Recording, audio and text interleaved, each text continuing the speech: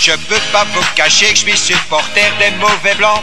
J'allais à l'Anderlecht déjà quand je n'avais qu'un an. Quand mon équipe se déchaînait et puis marquait un but. Moi je criais, allez les gars, en enlevant ma tute. J'avais un beau bonnet de lin tricoté par ma mère. Un écusson de l'Anderlecht cousu sur mon derrière. Bien avant que je savais prononcer papa ou maman. Sur le terrain, je criais, je gueulais, allez les j'ai pas raison. Oui, tu as raison